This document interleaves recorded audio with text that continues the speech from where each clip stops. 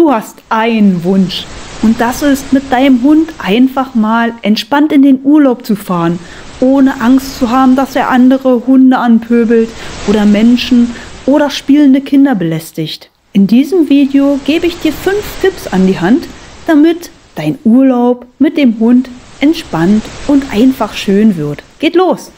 Dogma TV. Wow!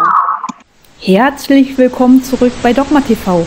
Ich bin Dogma und in diesem Video werde ich dir ein paar Tipps geben, wie du den Urlaub mit deinem Hund ganz entspannt gestalten kannst, wo du keine Angst mehr haben musst, dass er fremde Hunde anpöbelt oder Fahrradfahrer jagt oder andere Menschen belästigt.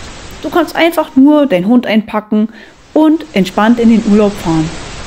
Zunächst ist es natürlich wichtig, die Laienführigkeit zu üben. Wenn es mit der Leine funktioniert, dann ist das eigentlich schon die halbe Miete. Denn wenn dein Hund nicht an der Leine zieht, dann kann er doch auch mal bellen. Schlimmer wäre es doch umgedreht. Dein Hund zehrt die ganze Zeit von links nach rechts, bellt dafür nie. Also das muss man natürlich für sich selber abwägen. Natürlich ist es am schönsten, wenn dein Hund einfach wie ein Roboter neben dir läuft und einfach nur funktioniert. Aber Du weißt es und ich weiß es. Die Realität sieht nun mal ganz anders aus. Und natürlich ist auch alles für deinen Hund neu. Es riecht nach anderen Hunden und nach Muscheln, wenn du zum Beispiel ans Meer fährst. Und alles riecht nun mal anders, ja. Und natürlich wird dein Hund da auch ein bisschen nervös und da zählt natürlich auch wieder ein Stück weit die Toleranz und Akzeptanz gegenüber deinem Hund. Du hast nun mal einen Hund an der Leine. Was soll er denn machen? Als schnuppern wollen, als markieren wollen, vielleicht auch mal bellen oder einem spielenden Kind mit dem Ball ein bisschen beim Ballspielen behilflich sein möchte oder einfach ein bisschen mittoben. Klar, das musst du natürlich abwägen, dass nicht alles perfekt sein wird. Aber du bist auf einem guten Weg dorthin. Die Leinenführigkeit ist das A und O. Dein Hund sollte nicht an der Leine ziehen zumindest nicht permanent und dass du ewig gestresst bist und dein kleiner Hund ewig gestresst ist oder dein großer Hund ewig gestresst ist, dadurch alle gestresst sind. Und wenn ich jetzt noch mal dreimal Stress sage, dann sind wir alle total entgestresst. Also kommen wir mal zur Laienführigkeit. Tipp Nummer eins: Das Belohnungssystem. Belohne deinen Hund, wenn er an der Leine geht, ohne zu ziehen. Du kannst ihm ein Leckerli geben oder ihn loben, um sein Verhalten zu verstärken. Das bedeutet, wenn du in den Urlaub fährst, steck mal ein bisschen besseres Futter ein. Es muss doch nicht immer das stinknormale Trockenfutter sein, was er jeden Tag bekommt. Du kannst ihm Hähnchen kochen oder du nimmst die Leckerlis, wo du weißt, da fährt dein Hund richtig drauf ab. Du kannst aber auch zum Beispiel ein Schweineohr nehmen, wenn dein Hund gerne Schweineohren knabbert. Denn es gibt doch nichts Entspannteres, als sich eine Decke mitzunehmen, auf dem Strand auszubreiten. Der Hund bekommt vielleicht auch eine kleine Decke und dann bekommt er sein Schweineohr. Und ihr könnt zusammen in die Weite ein bisschen träumen und dein Hund hat auch zu tun.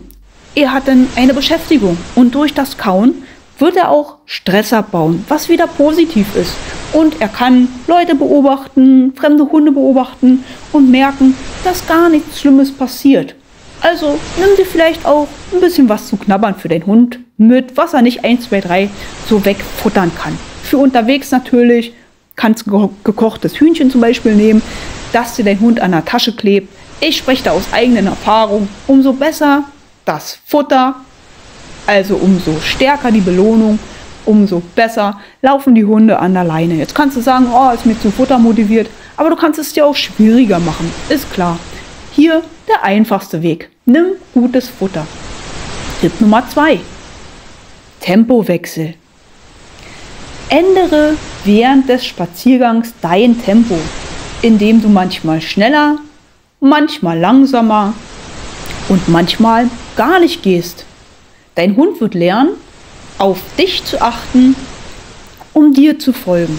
Wenn du meine Videos schon kennst, dann weißt du ja, es ist total wichtig, dass sich der Hund an dir orientiert. Sprich, die Orientierung am Menschen. Oftmals ist es so, du gehst mit deinem Hund spazieren und guckst nur auf deinen Hund. Was macht er? Wo will er hin? Wo will er markieren? Ach, okay, zwei Meter Leine reicht ihm nicht, um sein Geschäft zu machen. Dann gehst du halt noch drei Meter mit in den Busch hinein. Der Hund, der soll es ja schließlich bequem haben. Na, fühlst du dich schon ein bisschen ertappt? Ja, das ist aber kein Problem. Das geht vielen Leuten so. Versuch einfach darauf zu achten, dass dein Hund dir hinterhergeht, dass dein Hund auf dich schaut. Und wenn das nicht so ist und dein Hund vorläuft, dann dreh einfach um oder bleib mal stehen und guck den Hund dabei nicht an, sondern guck mal dabei einfach in die Weite, bis sich dein Hund beruhigt hat, damit er merkt und lernt, es geht nicht alles nur um den Hund. Dritter Tipp, die kurze Leine. Verwende eine kurze Leine, um deinem Hund zu signalisieren, dass er in deiner Nähe bleiben soll. Wenn du noch eine gute Trainingsleine brauchst, dann guck mal gerne in die Beschreibung.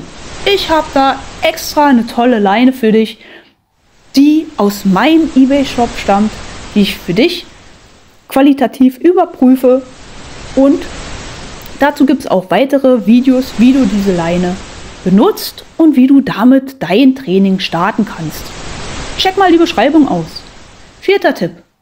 Die Konzentration. Konzentriere dich auf deinen Hund und seine Bedürfnisse.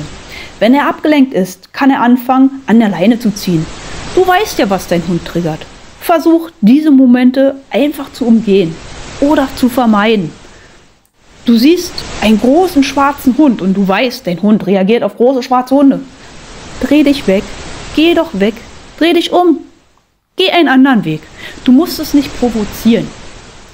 Fünfter Tipp. Die Trainingseinheiten. Beginne mit kurzen Trainingseinheiten von wenigen Minuten und steigere die Dauer und Intensität allmählich. Das kannst du auch im Urlaub machen. Ihr steigt aus dem Auto aus, dann bleibst du erstmal stehen. Warte, der Hund, der darf nicht gleich losrennen. Ganz, ganz entspannt und ganz allmählich. Und dann geht ihr los. Nur ein paar Meter, dann bleibt ihr wieder stehen, dass dein Hund die Chance hat, alle Eindrücke aufzusaugen. Und dann geht's dir nicht schnell genug, kein Problem. Zack, Du weißt, wo du hin willst. Und dann mach dem Hund ganz klar, dass du jetzt das Zepter in der Hand hast, dass du jetzt zum Strand willst. Und dann gehst du zum Strand. Und dann wird da nicht vorher noch drei Stunden geschnuppert.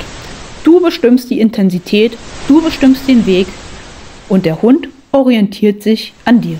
Viel Spaß mit deinem Hund im Urlaub und bis zum nächsten Video. Ciao, bis Dogma TV.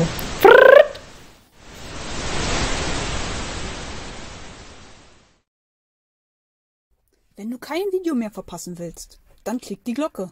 So. Oder so. Oder so.